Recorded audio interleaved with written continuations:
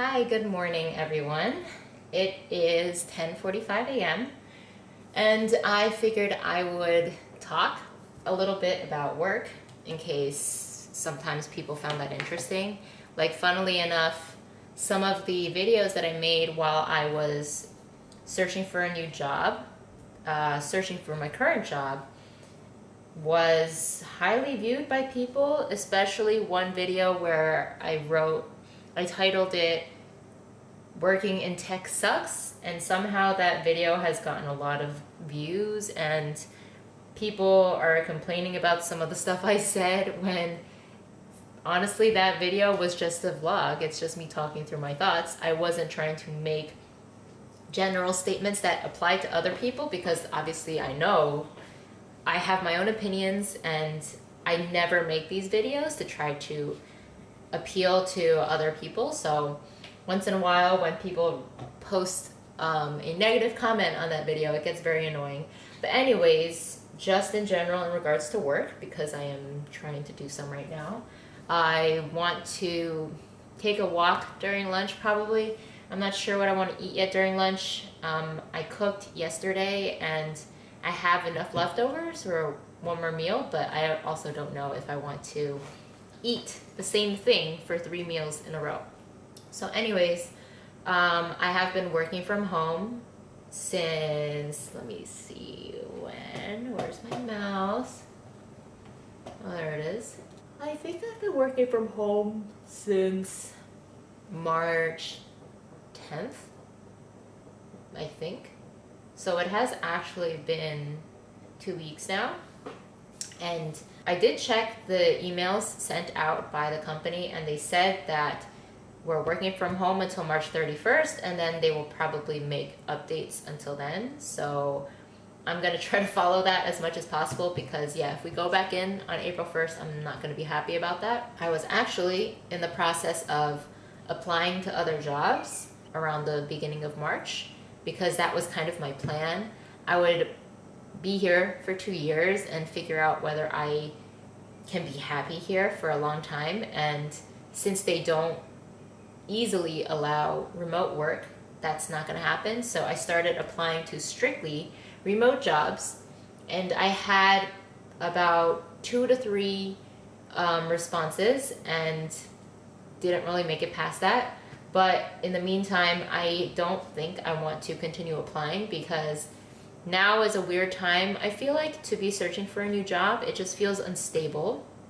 And for a large company like mine, I feel like I'm more safe here than a smaller company that allows remote job that might just not have enough funding or they might just not have enough money to keep you on. There's just so many unknowns.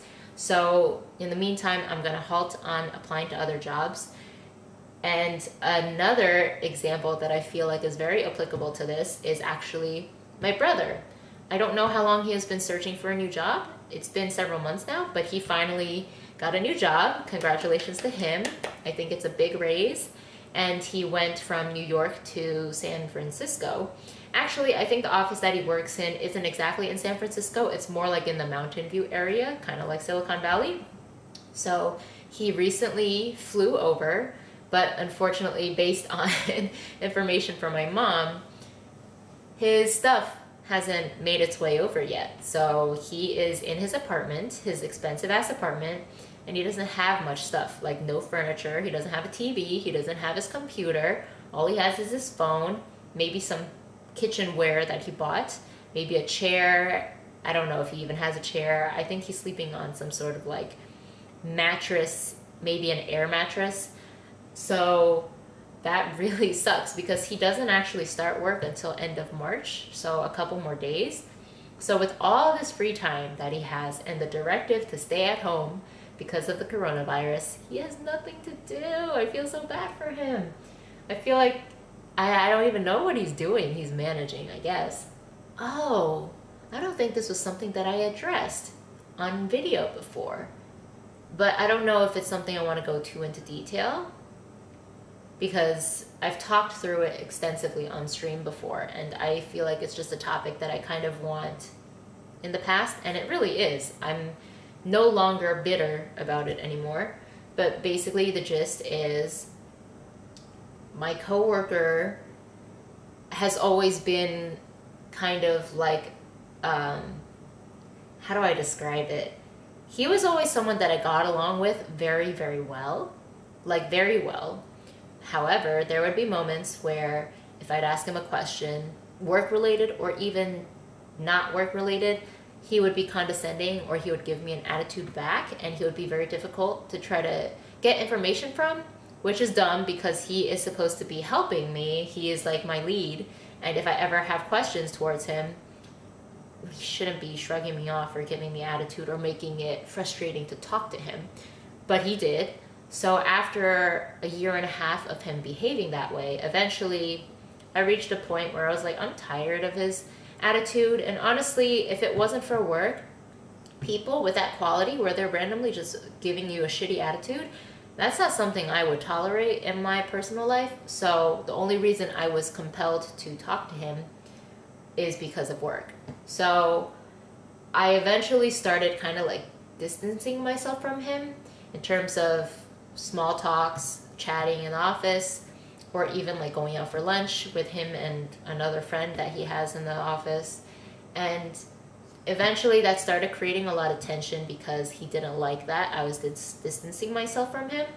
And he started trying to save it by being a little bit overbearing. Like, he would ask me to lunch almost every day, or he would ask me, Can you, you want to come with me to do this? You want to come with me to do this? Would you like me to bring you a bakery item, a pastry or something?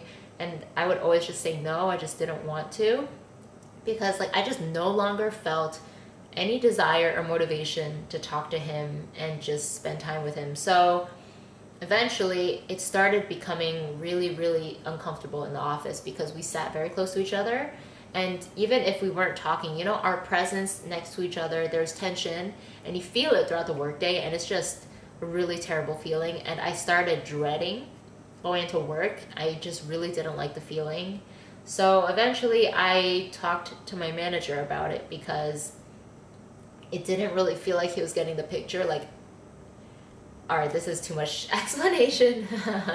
but basically, I talked to my manager and he separated us. And he did also separate the work that we were doing because all of my work, all of it, revolved around him and needing to talk to him and get my new um, assignments from him and everything. So with this change though, um, it started limiting what type of work I could do, which is not a good thing. I did start working on a tool for the test engineers to try to help them minimize their effort when it comes to manual testing.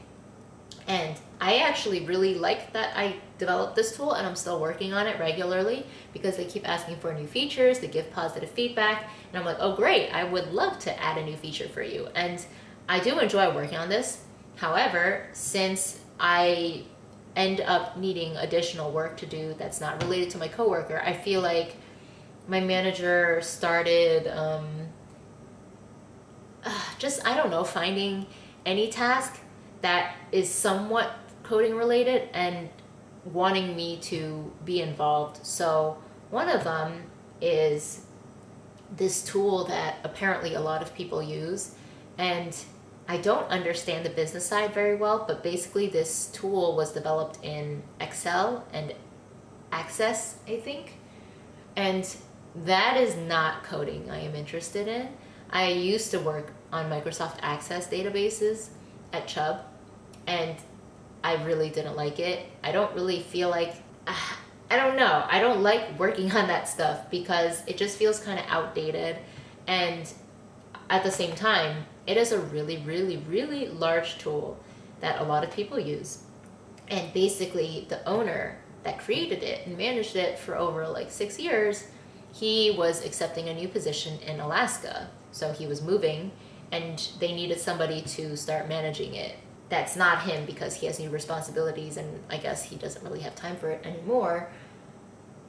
So they passed that on to me, and up until now, I haven't really had that much work in relation to it, which is good because I don't like to work on it. But right now, they have something that they would like added. And I guess when it comes to this tool, I get a lot of anxiety because I'm kind of intimidated that they are asking for something that might be difficult or it will take time for me to deliver. And honestly, I feel like during this situation, I should try to be less shy about the time I might need to deliver what they need because it's a big tool and I don't work on this type of coding ever. So learning the syntax in itself is going to be a little bit new for me. So it will take a bit more time for me to provide an update to their tool just because it's like a completely new thing for me. But in general, just any sort of additional work on this, I'm not really fond of.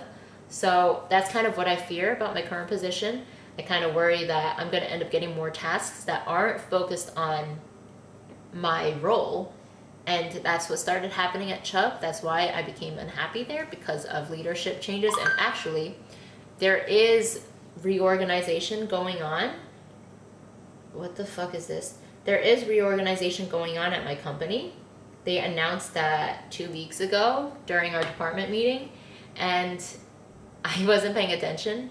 I was uh, doing an interview during it. They just happened to be scheduled together, and I was like, uh, fuck it. I will just join the meeting and then do my interview. So I don't know exactly what's going on. I should try to figure that out soon. But hopefully this corona thing subsides fairly quickly. And when I say that, I don't want it to be like rushed next week gone. I just mean hopefully it does not last until fall. And hopefully life can go back to normal and then I can begin applying again and hopefully land myself a remote job. So, after that little chat, I do need to resume doing work because I haven't exactly been the most productive, and that's no bueno. Alrighty. I am going to begin my afternoon lunch break, I guess.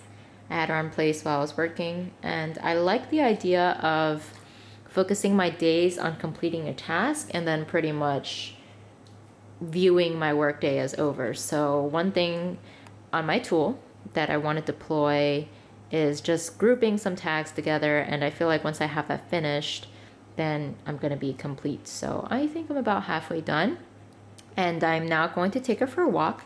Over there I have some cat pee pads that I actually need to remember when I open packages like that I'll take the stuff out and put it away and then I need to make sure I wash my hands without touching my face because it has been handled by other people.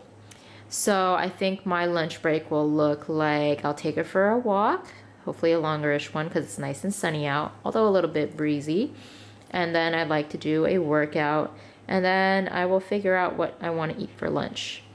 Probably deliver something. I just don't feel like eating what I cooked just yet. My precious little kitties. Milo. Don't you ignore me, boy. Milo. Sammy. Hi, it is 3.25 right now and I want to take Puppers out for a little fetch session. I just finished my workout and then I'll probably do a couple more hours of work before I watch my movie. I'm not sure if I feel like showering today. I'm feeling kind of lazy, honestly. Um, we'll see, we'll see. And I'm also going to try streaming tonight. I'm gonna check my speeds. During the day, my upload packet loss is insane and I get a drop in bitrate constantly, so I can't even early evening, I feel like that would be a problem also because a few nights ago I tried streaming up until 9 p.m. and it just was not working at all. So I'm kind of not hopeful, but I want to get her some exercise because it's still plenty sunny outside and I want to get as much sunlight exposure to the outside world as I can in my yard playing fetch with her before I am holed up in the house for the evening.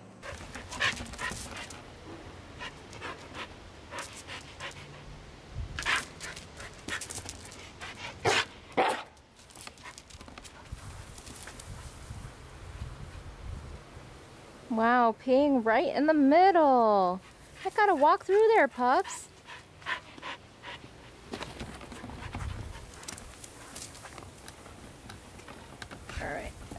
It is so messy out here. You can barely see her. And she peed in the middle. Let's try to go around here.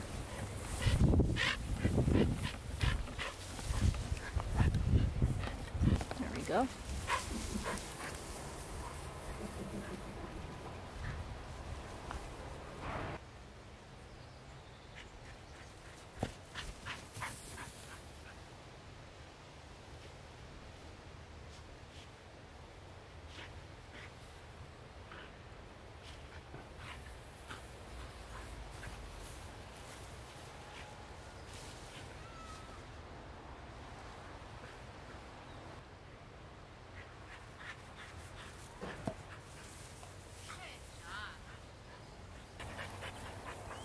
Look at how tall this grass is. Sooner or later, all of these things are gonna dry up and I won't be able to fetch with her back here anymore. okay, put this down. Let me cover up my motorcycle.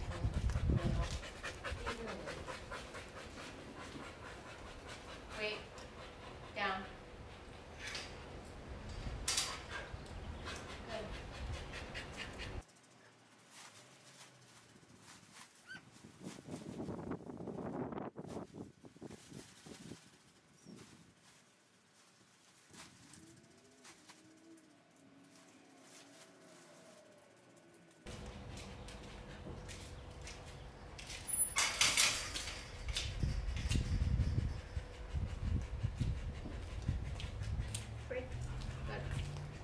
Hi, I am finished with work for the day, and just before I start continuing on watching my German film, The Wave, it was from year 2008 or something like that, I got more skincare products that arrived, and I actually mainly decided to buy now because I feel like some sites during this time they will be having sales to encourage you to keep buying so they had a 20% off site-wide and I felt like might as well just kind of restock up on products that I'm running out on. And I kind of just wanted to show them before I uh, resumed my movie. So these two, these two are ones that I am restocking.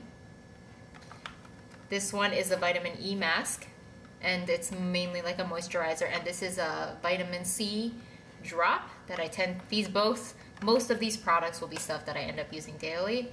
So this is one that I tend to use mainly at night. During the day I have another moisturizer that I use. I kind of have been rotating between two different kinds during the day because I have a lot and uh, they actually take a while to run out. So even though upfront the cost is a lot, they do last a while.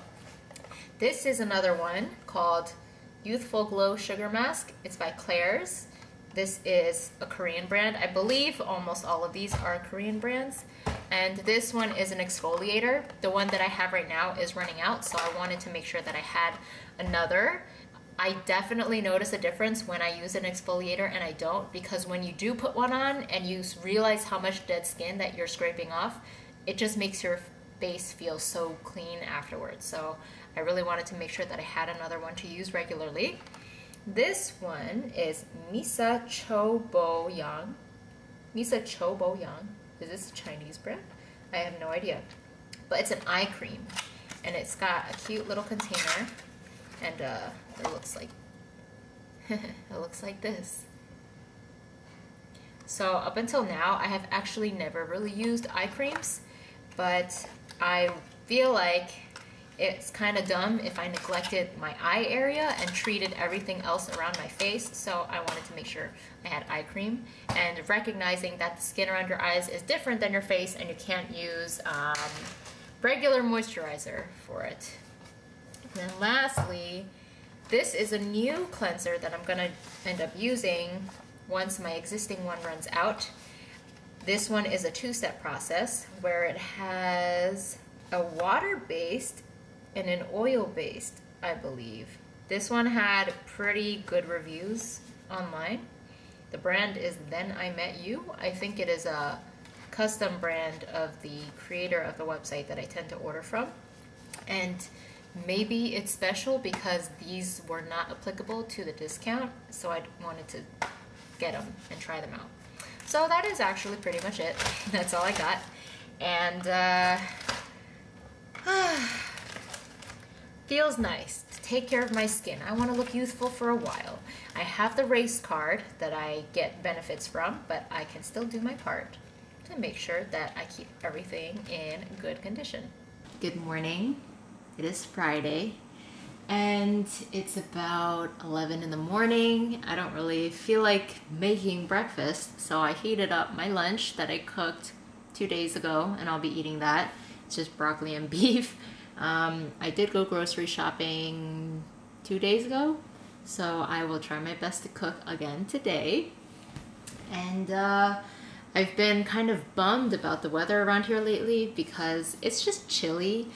There's not much sun outside, and I feel like even if there was, it's still pretty breezy and it's in the 60s, so not the most pleasant for me. I get pretty cold in the 60s. And uh, I've been needing to set my house hot as usual, which is a little surprising, I have to say, because it's almost April and in San Diego, I was thinking that the night times shouldn't be as cold anymore, but they have been. There's times where I'm freaking cold. I actually need to buy a new blanket because the one that I have now was one that I bought off Amazon when I moved here. So it's been about three years and it's also not warm enough for me. I think I would rather be slightly on the hotter side than being cold, and my feet get cold pretty easily, along with my nose. if my nose is cold, then I know that my body is cold. So I should try to look one up today. There have also been times where I come here to the couch because my wall heater, I think you can see it behind me, that's directly right there. I don't know if I mentioned this. I'm pretty sure I did mention this, but this house does not have central heating. That is my source of heat, that fucking wall shit, and I hate it because it makes a ton of noise. It's always clanging. It, be, it just makes so much noise, and it doesn't heat up the house very well. It only heats up this room well, but my bedroom, not really. I have to leave the door open just so maybe a little bit of heat manages to get in the room. Otherwise, if I leave that on during the night when I'm sleeping, like it's going to take a while for that heat to even reach me, so it's kind of pointless. I am still pretty frustrated about my internet because I feel like my provider is just shitting the bed right now. When I go to their uh, customer service Twitter, there's a bunch of people complaining about their service being bad and that it hasn't been working for nearly a week, that they're not getting the speeds that they should. And um, that's pretty much on par with what's happening with me. They did say that they would credit me when I called them, but I don't actually think I have access to my account online because I think when I moved from my last address to this one, something weird happened with my account because if I log in to an account that I have access to, it shows my last address and it shows that there's no service at all. But I get emails about my bill. And then when I try to go to it, you know, I don't have maybe the right username and password. I have no idea. So I can't see what kind of credit I got. Maybe it's like a $5 piece of shit. But I this has been going on for a few days now, 3 to 4 days. And I guess I say that because the last time I streamed, the last stream that I checked 5 days ago looked fine. So I don't think I was having issues that day, nor was I aware of this or started becoming paranoid about it.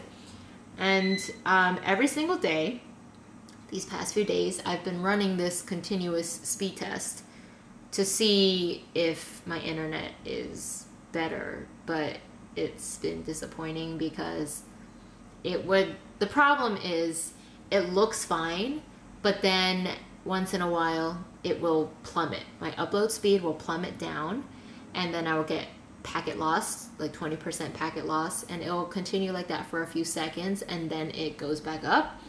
And the thing is, I think that the way Twitch handles drops like that, it, I don't know, I was talking to somebody about it because I was like, if I get a few seconds of shitty internet, but then it goes back to what it should be, why does my stream look so terrible? Because what basically happens is my bitrate drops down under a thousand kilobits per second and it looks so bad, pixelated like crazy. The screen entirely turns gray, and then it's just super pixelated. And when I check the stream health, when I do a test for it, um, it shows that the bitrate is slowly climbing up, but it doesn't get back up to 6000, which is what I set it to when I stream in 1080p.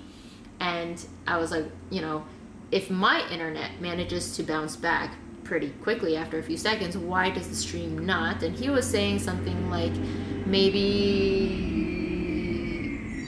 trash truck is here. Maybe they want to verify that your speeds are good again before they decide to what's the word like project it onto the viewers so it's pretty much a bad idea for me to stream right now and if i stream and i get these really shitty cases that would drive me crazy because quality is super important to me. If i'm not streaming in 1080 i even tried to stream in 720 before i figured out it was my internet and i was like what the fuck is going on? I lowered my bitrate i lowered the demand that i'm requiring and it's still looking like shit. So i'm kind of bummed out because when you're home all the time and you can't do some internet things that you're used to, it will piss you off. And with all the time that we have now, I would love to stream and play some Dota. I feel like it would be nice for growth of the channel or just, you know, passing the time. I don't even know if I could game confidently um, because I felt like I was noticing noticeable lag yesterday when I was playing just one game of Dota. I wanted to try it out. Um, I don't think I see issues with my download speed when I am um, running this continuous speed test, but I don't know. I normally play on US East for Dota because there tends to be a higher percentage of players at high MMR in that region compared to US West, but um, I just noticed the lag in my game yesterday and it was it would probably affect my performance pretty drastically so i didn't want to continue playing on it and i don't i really don't think it's a us east latency thing because i tend to get 80 to 90 80 to 100 ms on us east and i have been playing on that for a while like months so if it was the usual i don't think i would have noticed it being bad but it was bad yesterday so I don't even think I can properly game right now, and that makes me so sad. I can play Underlords because that's like a turn based game where speed and latency isn't that bad. Um, I remember back in the auto chess days, if you wanted to make like a lot of quick buying and selling and movement on your board, then yes, latency would definitely matter. But in a game like, I don't know, Underlords feels different where it's not going to be that way anymore. So uh, I can still play that, but you know, that's not what I prefer to play. It is fun, and I do see myself playing it a bit every day because I do play it with friends. Dota and streaming is just what I prefer. And honestly, every day, I'm still like, fuck, I want to play other games. I just want to, I do want to spend my time playing some games while this quarantine is going on because that is my passion, but it is also very hard for me to get into other games so it's hard for me to find one and just pick it up and be into it. And that's why I tend to go with what I'm familiar with, where I try to gravitate towards classic WoW. Definitely no interest in retail WoW. Um, Half Life Alyx also came out this week, but that requires VR, and um, I, if I had bought VR, I would probably buy the Index from Valve, which is a thousand dollars, which is a lot of money, and not something that I would want to spend right now on something that I'm not even sure I'd enjoy. So, kind of stumped right now, watching a bunch of movies. Yeah, a lot of time to watch movies, and no excuses not to work out for sure. My food is ready, and I gotta get back to work. So, I have also been thinking about. I know I've made several videos on Riley, but I have been kind of tempted to talk about her again, maybe more in depth about our journey. But I kind of get the feeling it'll be repetitive with previous videos, maybe some of it will be different. But I don't know. I'm kind of tempted because whenever I talk to people about her and training and my own journey, I kind of realize how much I actually went through when we're in our place right now where things are good, it's hard to remember the difficult times that you had because things have been good for a while. It is nice to be home with her all day doing work.